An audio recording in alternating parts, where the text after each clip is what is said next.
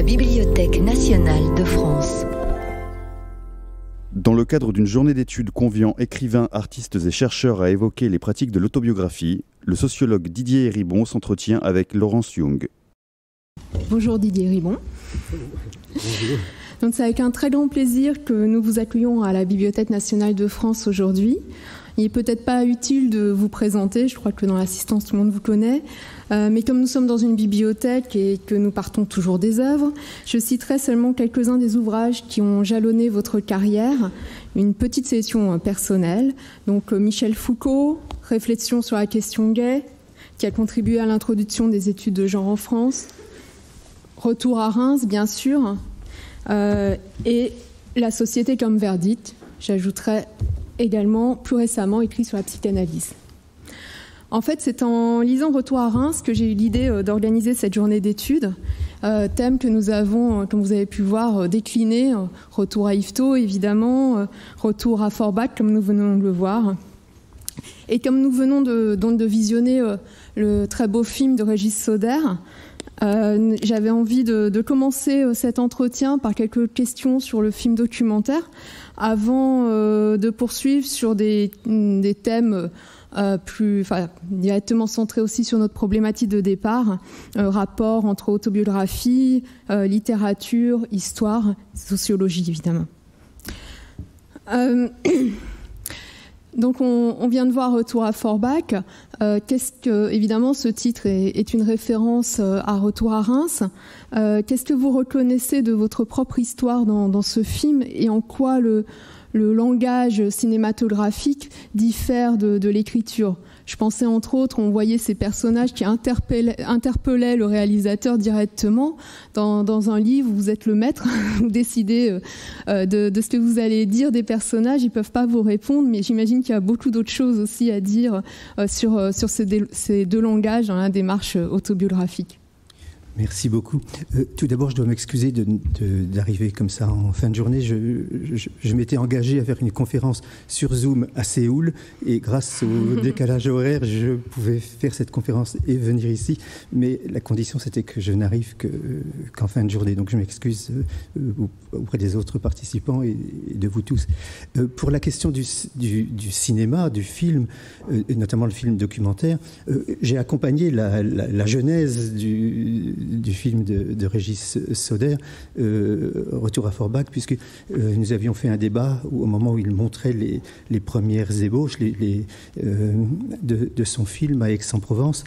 et donc, j'ai vu l'évolution de son travail et j'ai évidemment vu le, film quand il a été terminé, le projet abouti. Et évidemment, le cinéma ajoute quelque chose à, l'écriture, parce que comme vous venez de le dire, il y a euh, dans l'écriture, euh, l'écrivain, l'auteur, le, sociologue, le philosophe, l'historien maîtrise le, dispositif de, narration, de, restitution, euh, même quand il s'agit de restituer la parole d'autres personnes, en l'occurrence de, nos parents, de notre famille. il y a une chose que l'écriture ne peut pas faire, c'est donner la parole aux gens qui, qui pourraient répondre dans, le livre. Et surtout, euh, comme je disais à l'instant avant, de monter sur scène, il y a une chose que l'écriture ne peut pas faire. On peut mettre des photos dans un livre. Euh, Annie, a, a publié un, recueil de, son œuvre euh, en collection Quarto, je crois, où, il y a beaucoup de photos. Et on, voit les gens dont elle parle, on voit elle et les gens dont elle parle.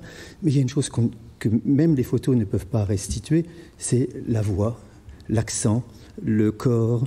Et je dois dire que quand, quand Thomas Ostermayer, le, metteur en scène euh, allemand, a adapté pour son théâtre, puis après dans, des versions françaises, italiennes, euh, actuellement euh, suédoises. Mais au, point de départ, c'était euh, un spectacle en anglais et en allemand.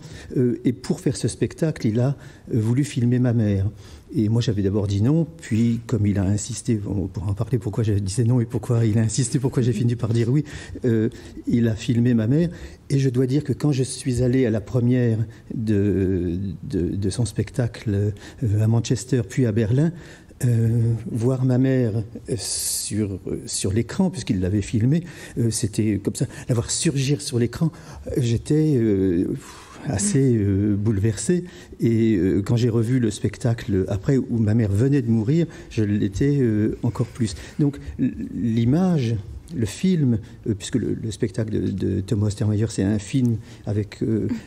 enfin, je ne vais pas raconter son, spectacle, mais il y a le, point de départ, c'est un, film qui est projeté sur, l'écran en haut de la scène. L'image euh, l'image cinématographique, le film euh, apporte quelque chose qu'évidemment l'écriture ne, peut pas apporter. Alors je ne dis pas qu'il faut faire des films mais pas des livres, parce que le livre donne aussi euh, une, des, analyses, des, remarques des, qu'on ne peut pas faire dans un film, parce que un livre de 200 pages ou 300 pages, vous ne le faites pas passer en, en une heure ou une heure et demie de, cinéma. Donc le, les sont des dispositifs euh, euh, différents et je dirais que quand ils peuvent s'épauler, euh, s'imbriquer l'un dans l'autre, montrer des choses que l'écriture ne peut pas montrer, ou pour le film que, l'écriture montre des choses que le film ne peut pas montrer, je pense que tout, tout ça sont des, des, comment dire, des, démarches qui sont tout aussi importantes les unes que les autres. Alors justement, vous disiez que dans, un film, on ne pouvait pas montrer tout ce qui est dans, un livre euh, de 200 pages ou plus. Euh, Retour à Reims a également inspiré euh, Jean-Gabriel Perriot, hein, qui a réalisé un, film documentaire cette année, qui est un peu à l'opposé dans sa conception de Retour à Forbach, puisqu'il ne travaille qu'avec des images d'archives. Euh, et il raconte euh, à travers euh, des extraits de Retour à Reims l'histoire de la classe ouvrière au point qu'il vous a fait disparaître comme personnage. Oui. Est-ce que... Alors, je m'interrogeais par rapport pas tout à... fait. ah, pour essentiellement laisser les personnages féminins d'ailleurs de votre famille. Et euh, je me demandais si c'était pas justement l'étape un peu ultime de votre démarche où, euh, à travers euh, sa propre histoire, on veut parler d'un nous collectif, d'une histoire collective. Et alors là, on arrivé à, la disparition presque du personnage en, tant que tel. Et est-ce que vous ne regrettez pas aussi que le personnage du transfuge de classe, hein, dont on a beaucoup parlé aujourd'hui, ben, ne soit pas davantage documenté Parce que c'était aussi ça qui était l'intérêt, c'était d'avoir un regard particulier. Quand Jean-Gabriel Perriot, euh, la productrice qui voulait faire ce film, et Jean-Gabriel Perriot qui commençait à le faire, euh, ont pris contact avec moi, il a été entendu dès le départ euh, que j'allais leur laisser, lui laisser en l'occurrence, toute liberté pour faire ce qu'il voulait. comme j'avais fait avec Thomas Ostermayer ou avec d'autres metteurs en scène de théâtre qui ont adapté mon livre euh, ici ou là, je me suis toujours interdit d'intervenir. Quand ils m'ont demandé mon avis, euh, je l'ai donné. Quand ils m'ont demandé si j'avais des critiques, je les ai apportées. Des suggestions, je les ai faites. Euh, maintenant, comme en général, euh, il pose cette question avec la ferme intention de ne, de ne pas en tenir compte, le, je, je, me suis gardé de toute intervention sur, son, sur le dispositif qu'il avait imaginé. Jean-Gabriel euh, Perriot, c'est quelqu'un qui fait des films à partir d'archives. Tout son cinéma, c'est ça. Il avait fait un film qui avait été très remarqué et qui est très remarquable, sur la, qui s'appelle une, jeunesse allemande, sur la fraction armée rouge, la bande à Bader. C'est uniquement des archives. C'est absolument euh, superbe. Là, ce sont des archives. Euh, et donc, dans ces archives, je n'ai aucune place.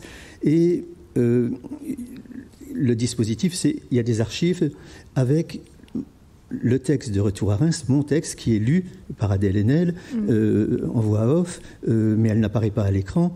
Et, euh, et, moi, je n'apparais pas. J'apparais au début où il y a, il y a les maisons, les, endroits où j'ai habité. Je lui avais donné les adresses. Il y a comme ça une séquence de quelques, quelques minutes où il y a les, les endroits où j'ai habité. Mais on ne le dit pas. Et le, après se déroule un film d'archives où il s'agit pas de, c'est pas un film sur moi, c'est un film, il a voulu faire euh, restituer une histoire euh, visuelle à travers les archives de la classe ouvrière euh, française et notamment des femmes de la classe ouvrière française avec des archives. D'ailleurs, on voit que, on voit ce qu'était la télévision dans les années 50 ou 60 où il y avait des émissions entières où on interviewait une, ouvrière, une femme de ménage et évidemment tout ça a en grande partie disparu et lui il a retrouvé toutes ces archives et euh, donne la parole aux femmes. Beaucoup sur la, condition des femmes ouvrières, des femmes des classes populaires, et je trouve que c'est un film très très très réussi. D'ailleurs, je, l'ai vu, euh, j'avais vu des versions de travail euh, puisqu'il me les a envoyées pour que je lui fasse mes suggestions et mes remarques et mes critiques. et ça a été projeté à Cannes dans la section, la sélection quinzaine des réalisateurs. Ça a été, l'accueil a été triomphal. Je, je le dis d'autant plus aisément que je n'ai, comment dire, je n'ai aucune part dans la réalisation du film. C'est vraiment son travail à lui. Alors maintenant, est-ce que est-ce qu'il aurait dû faire un autre film qui aurait été centré sur moi ça, euh, je, crois que son choix est tout à fait respectable. Même des gens lui ont reproché, euh, j'ai vu dans des, critiques où des amis m'ont dit, il, il, efface la dimension euh, de l'homosexualité qui est très importante dans ton mm. livre, et elle n'apparaît pas dans, dans, le film.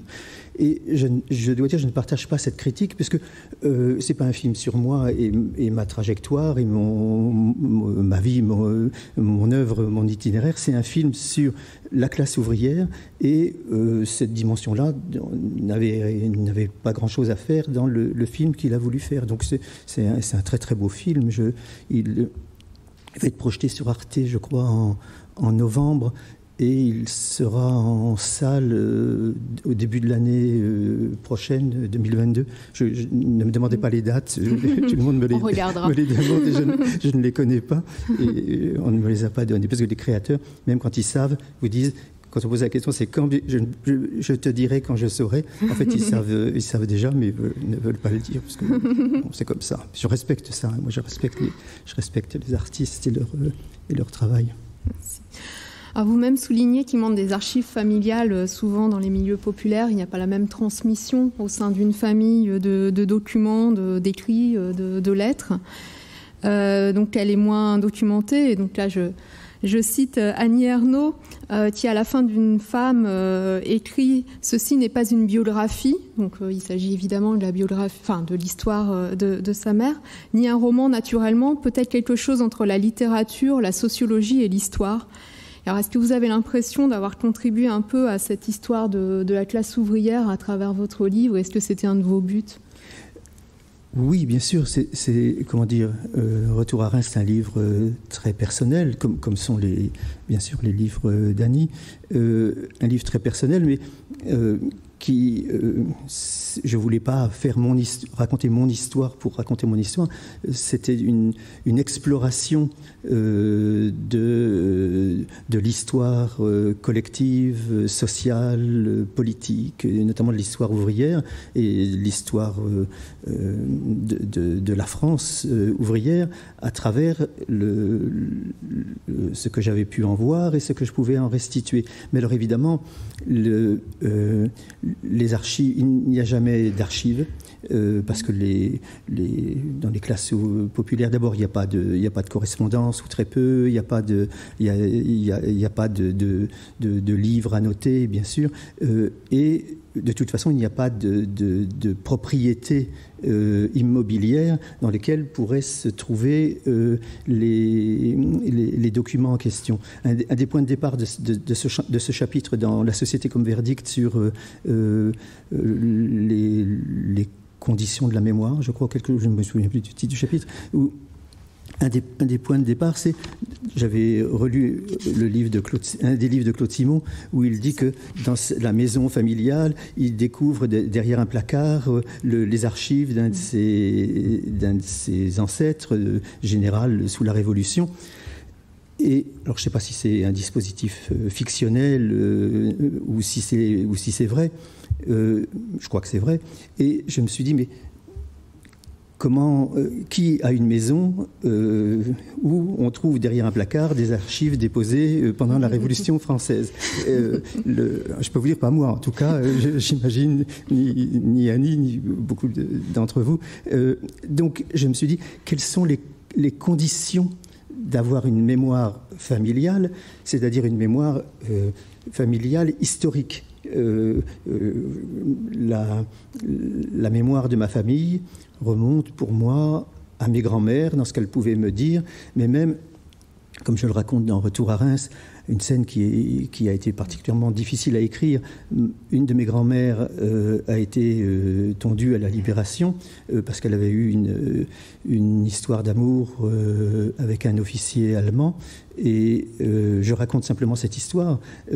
mais une, doctorante m'a écrit après avoir lu Retour à Reims en disant Est-ce que euh, je travaille sur les femmes euh, qui sont engagées dans le travail volontaire euh, en Allemagne, qui ont été étendues à la libération, Est-ce que vous avez des, documents? Alors j'ai demandé à ma mère Est-ce que tu as les documents de, ta mère?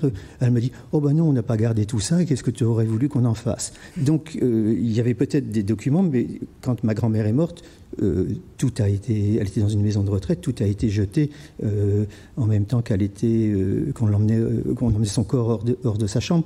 Donc il n'y a pas de, il n'y a, j'ai, ma mère m'avait raconté ça, donc je le savais mais il n'y a pas je ne peux pas le documenter, je ne peux pas, je, ne sais rien d'autre que ce que ma mère euh, euh, m'en a dit. Je sais que c'est vrai puisque euh, la sœur de ma mère m'a envoyé une lettre d'injure en disant comment oses-tu raconter cette histoire de ta grand-mère chez qui tu étais bien content d'aller déjeuner? ce qui est vrai, d'ailleurs, j'étais bien content d'aller déjeuner chez elle quand je me suis installé à Paris et que je n'avais pas d'argent. mais dans ce chapitre, enfin, dans, dans ces pages où je parle d'elle, je ne, ce ne sont pas des pages où je la condamne. J'imagine une femme ouvrière euh, à cette époque, qui, dans une époque très difficile, qui après l'exode, avoir travaillé dans une ferme, etc., euh, rentrait à Paris ou, et essayait de, survivre. Alors je ne dis pas que je trouve ça formidable, de cette manière d'essayer de, survivre, mais qui sommes-nous pour juger ce qu'ont fait euh, nos parents, nos grands-parents dans des périodes aussi compliquées et J'imagine pour, euh, pour les femmes de, des classes populaires, ça devait être particulièrement difficile de, de, trouver de quoi manger, de, de, survivre tout simplement. Euh, donc euh, voilà, ce n'était pas une accusation. Je citais le beau poème d'Éluard sur la femme découronnée et, comment dire, euh, cette, pauvre femme comme ça, euh, euh, euh pas à propos de ma, grand-mère, mais sur le, une femme qui a, qui a subi le même sort que ma grand-mère. Et donc, pour moi, enfin, comme pour Éluard, il ne s'agissait pas de condamner. Ce que je condamne, c'est cette violence masculine contre les femmes, souvent par des gens qui voulaient réaffirmer. Il y a un très beau livre de, Fabrice Virgili, l'historien, sur la, la, régénération virile de, la nation à travers cette violence contre les femmes. Et il s'agissait plutôt pour moi de, de montrer ce ce que pouvaient subir les femmes, ce qu'elles avaient pu subir, et euh, pas du tout euh, de condamner ma mère, plutôt de condamner ceux qui lui avaient fait, euh, ma grand-mère, ceux qui lui avaient fait subir cette scène horrible. alors là, il y a des images de ça. Et Jean-Gabriel Perriot a fait un, documentaire sur, sur je crois qu'il est sur son site personnel, vous pouvez le trouver, sur les femmes tondues. Et ces images, parce que lire un livre d'histoire, c'est quelque chose, mais alors, voir les images de ça, euh, c'est quelque, chose, c'est un, degré de, violence euh, supérieur et à la limite du, supportable. Ah, vous faites euh, de, deux très beaux portraits de vos grands-mères, qui étaient deux femmes très différentes, mais chacune assez représentative, hein, d'après vos analyses, de, de, femmes de la classe ouvrière, celle qui est exactement conforme à ce que la société attend, et puis celle qui est divergente hein, par rapport à, ces, attentes. Euh, et, donc dans ces portraits qui sont à la fois personnels, puisqu'il s'agit de votre famille, euh, vous, euh, vous adoptez un point de vue aussi de sociologue, et c'est là que je, veux venir. Vous abordez beaucoup de, de, questions qui vous touchent personnellement, donc depuis réflexion sur la question gay, comme l'homosexualité ou le milieu ouvrier. Et hum, évidemment, par rapport à la sociologie, on peut se demander si euh, si pour vous euh, la question de l'objectivité n'a pas de sens, si euh, c'est complètement différent de votre démarche et voilà. Ah mais ma démarche est très objective, je décris des, choses. le... Vous savez, il y a une, mauvaise lecture, mal intentionnée en général, de, l'œuvre de Pierre Bourdieu, par exemple, qui serait... il dit qu'on on est déterminé par sa classe, et dans une classe sociale, tout le monde est pareil alors que, alors les gens disent, alors que chacun euh, a une identité singulière. Je n'ai jamais, euh, personne ne, devrait lire l'œuvre, en tout cas pas moi, ne devrait lire l'œuvre de Bourdieu comme effaçant les singularités. C'est une sociologie des singularités, l'œuvre de Bourdieu. C'est comprendre ce que l'on est à partir des instruments de la sociologie. D'ailleurs, on voit bien la force de l'œuvre de Bourdieu euh, chez ceux et celles qui l'utilisent justement pour faire une sociologie d'eux-mêmes ou d'elles-mêmes. Euh, Annie, euh, Ernaud, Édouard Louis et moi, nous référons tous les trois à Bourdieu. Nos histoires sont forcément différentes et il s'agit de montrer ce qu'est la singularité de notre expérience, de notre, de notre habitus, si je puis dire, d'arriver au, point le plus extrême de la singularité à partir de l'analyse euh, sociologique. Euh, et si tous les trois, on peut utiliser, puisque nous nous référons, c'est un secret pour personne, tous les trois à, l'œuvre de Bourdieu, euh, si on peut tous les trois arriver à poser une singularité euh, individuelle à partir de, des instruments de la sociologie, ça montre que la sociologie n'est pas euh, l'œuvre, la science réductrice euh, qu'on l'accuse d'être. Mais je dois dire que si la sociologie permet d'atteindre des singularités individuelles, elle permet aussi de restituer les régularités et, et les, similitudes. Et euh, si différentes que puissent être euh, les histoires des uns et des autres, on voit bien que euh, sont singulières, mais il y a aussi des phénomènes de structure, de régularité, par exemple le, rôle, la fonction du système scolaire que, chacun de nous trois, je pourrais citer d'autres, mais enfin je ne peux pas faire des listes, euh, que chacun de nous trois euh, analyse, la, fonction du système scolaire, le rapport à la famille, le, la honte sociale, la difficulté de passer d'un milieu à un autre, comment le milieu d'origine perdure dans le, milieu euh, d'arrivée, euh, etc. Donc, pour moi, ce que je décris, euh, c'est tout à fait objectif. Je, quand je raconte ma mère à l'usine dans les années 70, c'est quelque chose de tout à fait objectif. Quand je raconte ma mère, le corps euh, perclus de douleur euh, euh, dans les années 90, parce qu'elle a travaillé 15 ans dans une usine avec des conditions de travail épouvantables, c'est tout à fait objectif. Et simplement, c'est lié à forcément un regard subjectif sur, le, sur, sur ce que je vois et ce que je peux rapporter dans mes livres. Alors, il y a aussi ici la question du cadre théorique. C'est que pendant très longtemps, les, questions euh, sociales, on peut dire, avaient disparu de la littérature et même de la pensée. Le marxisme euh, s'était effondré. La politique ne parlait plus, on ne parlait plus d'ouvriers, de classe ouvrière, etc. Et de fait, quand on en parle, quand il y avait des, mouvements, euh, enfin, la rhétorique euh, marxiste, communiste, stalinienne, excluait les gens comme moi.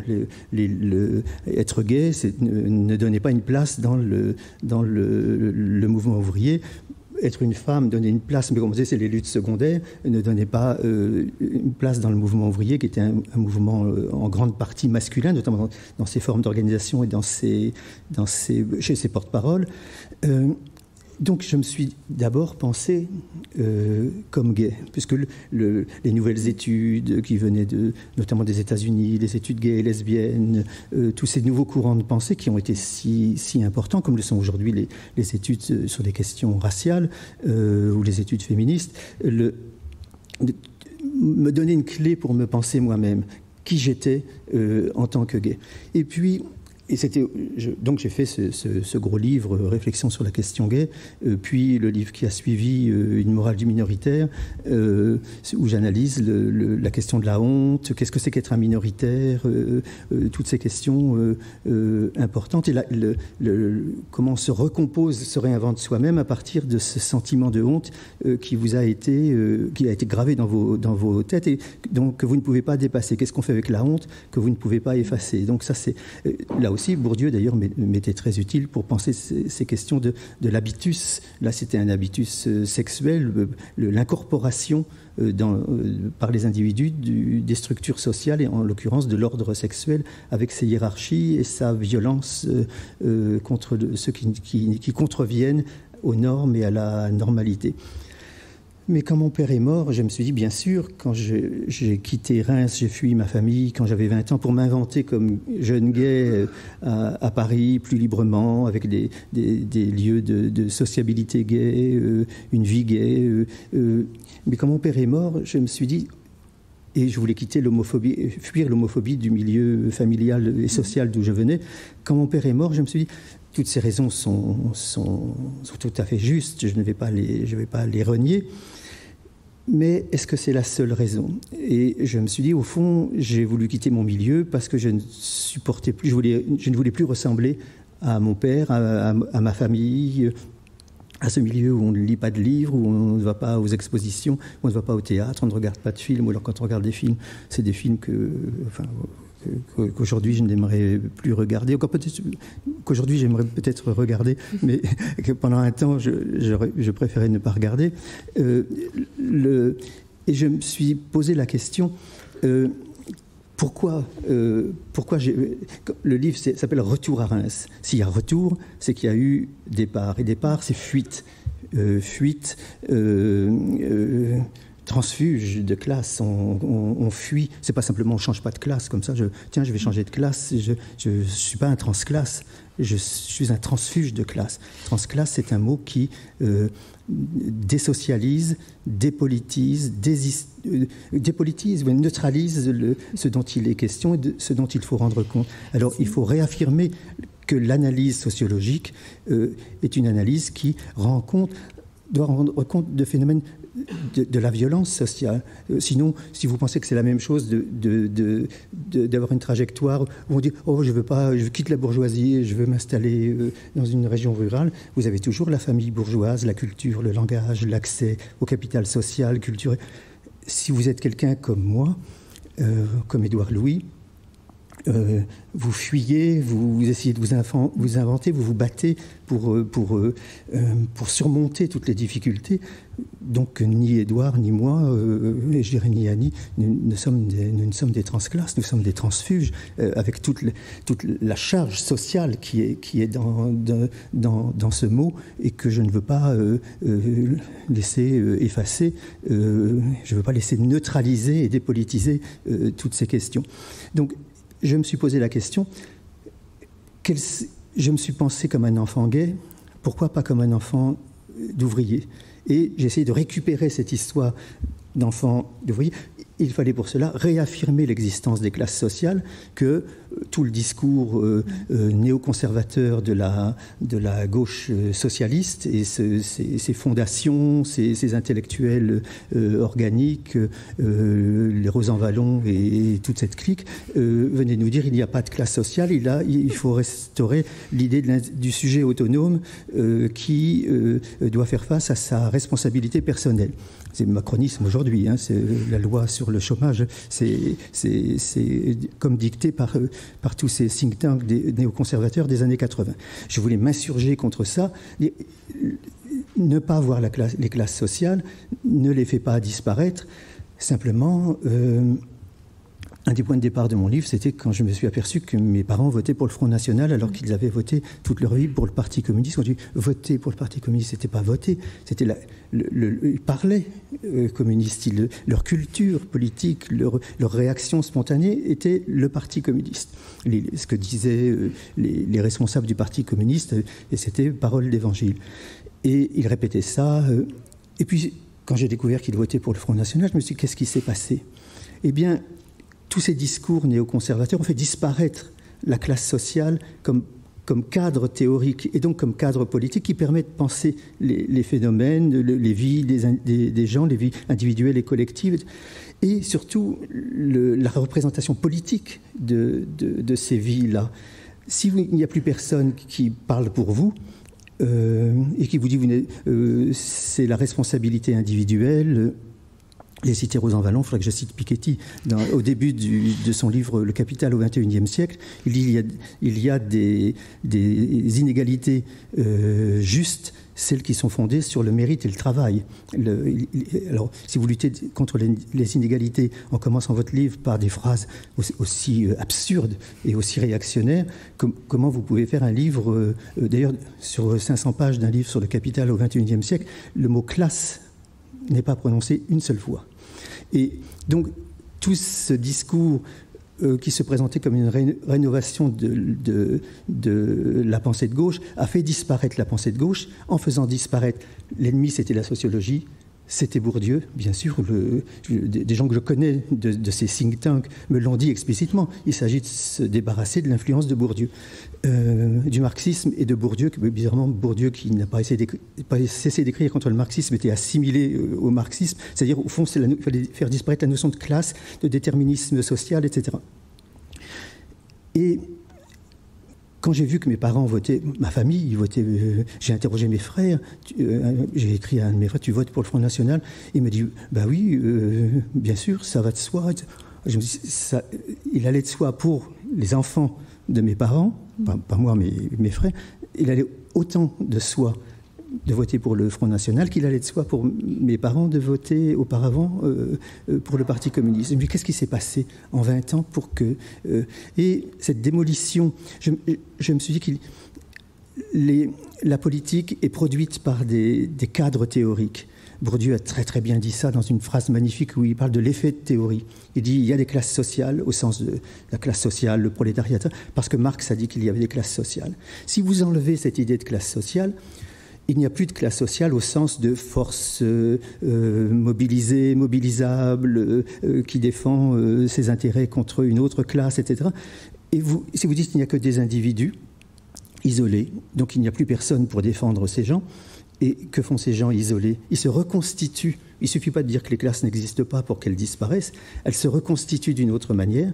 Et le vote pour le Front National, en tout cas au moins dans les années 80-90, était un vote de classe. C'était la classe ouvrière qui se reconstituait comme classe en votant pour des gens euh, qui disaient euh, c'est nous qui vous représentons, c'est nous qui parlons pour vous, alors que la gauche vous a oublié. Et le pire, c'est que c'était vrai vrai jusqu'à, vous comprenez bien, vrai jusqu'à un certain point, c'est que euh, dire euh, euh, vous, êtes précarisé, vous êtes maltraité, vous êtes méprisé, personne ne vous représente, personne ne parle de vous, on, vous invisibilise, c'était vrai. Mais dire le, vous, les Français, qui êtes victimes de l'immigration massive, ça construisait il y a toujours un, nous et un eux. Mes parents, j'ai vu ça. Il y avait nous, auparavant nous, les ouvriers, opposés à eux, les bourgeois, les patrons, les exploiteurs, etc., la classe dominante. ensuite, il y a eu un nous, les Français, face à eux, les immigrés qui nous envahissent, etc. Ma mère, euh, euh, parler à ma mère au téléphone était une épreuve parce qu'au bout de deux minutes, euh, ça arrivait, on est envahi, on n'est plus chez nous, etc. si vous avez des parents dans, les milieux ouvriers, vous, connaissez ce, discours. Le nombre de gens qui m'ont dit, c'est exactement ce que, que dit mon père, c'est exactement ce que dit ma mère. Et se reconstituer donc une classe avec une identité de classe collective euh, qui était tout à fait différente. C'était une identité nationale, nationaliste, ce qui évidemment pose un problème sur la définition d'une classe, parce que si vous décrivez comme classe seulement les blancs dans, euh, dans une classe sociale, et que vous oubliez que euh, dans les usines aujourd'hui, dans les transports, dans les, les aides-soignantes, les, les, les, les, caissières, les, tous ces métiers, tous ces métiers euh, qu'on a appelés de, métiers essentiels, avant d'oublier à quel point ils, étaient essentiels pour, pour les privés du chômage, euh, il est évident que euh, tous ces gens qu'on prive d'une représentation politique se donnent une représentation politique. Alors je, déplore ce qu'a été la modalité de, se donner, de se doter d'une nouvelle représentation politique. Évidemment, ce n'est pas celle que j'aurais aimée, mais on ne m'a pas demandé mon avis. Et j'ai voulu écrire Retour à Reims pour, montrer, pour comprendre à quel point le cadre théorique, la perception de soi, euh, est lié à un cadre politique et ce cadre politique est lié à un cadre théorique. Si vous n'avez pas la sociologie, la théorie des classes, la théorie du déterminisme social, l'analyse du rôle du système scolaire, euh, si vous n'avez pas tout ça, vous n'avez pas un discours politique qui prend en compte toutes ces réalités euh, et vous avez d'autres réalités qui s'installent. La théorie euh, ce que Bourdieu appelle l'effet de théorie, produit la réalité, construit la réalité. Je ne dis pas que ça, fait exister la, précarité, euh, c'est pas la théorie, mais la théorie donne un sens social et donc politique à tout cela. les gens qui sont précaires, c'est pas. Je ne sais pas si vous avez vu le film de. On parle de, film, le film de Ken Loach, euh, Sorry We Missed You, qui est on voit ce que c'est que la nouvelle classe ouvrière, c'est-à-dire des gens livreurs Amazon et aide, aide à domicile pour la femme des métiers contrôlés, impossibles, mal payés, euh, conduisant au désespoir. Mais ce sont des gens qui ne peuvent pas s'organiser, puisque quand vous êtes aide-soignante et ou quand vous êtes livreur, euh, euh, livreur Amazon, évidemment, c'est très difficile de vous organiser. Et j'ai assisté à un débat avec Enlo où il disait il faut que les gens se, adhèrent à des syndicats. Je suis entièrement d'accord, c'est la seule solution, mais c'est pas c'est pas si simple et il faut donc construire une offre politique. Il y a un très beau film que vous allez pouvoir voir, je crois, dans une quinzaine de jours, qui est le film de François Ruffin, qui s'appelle Debout les femmes. C'est. Il m'a invité à une projection. Euh, j'étais euh, avec Édouard Louis et, et Geoffroy de la Gannerie. En sortant de là, on avait les, larmes aux yeux. Et, mais vous avez quelqu'un comme François Ruffin qui. Euh, au lieu d'aller débattre avec Zemmour pour euh, donner une tribune à Zemmour comme s'il n'en avait pas euh, assez, euh, vous avez François Ruffin qui fait un film sur les précaires, sur les femmes qui ont des boulots extrêmement difficiles, mal payés, pas reconnus, sans statut. Et c'est un film d'une efficacité politique, intellectuelle, sociale et émotionnelle telle que le, quand on sort de là, on a envie de tout casser. Euh, de, faut, Alors, ce qui est bien, c'est que maintenant, on va avoir envie de voir euh, beaucoup d'autres films. On voit que les classes sociales dans les films sont très présentes en ce moment. Euh, le retour. Il y, a, un retour à ces, à ces questions euh, grâce, à, grâce, à des, grâce à des œuvres comme, comme celle d'Annie qui a été. Alors, je vous propose justement de poursuivre le débat avec les autres intervenants qui vont monter avec vous pour aborder ces questions-là et comme ça, vous pourrez en parler directement avec elle et avec euh, bah, tous les autres qui ont bien voulu participer à cette journée et que je remercie.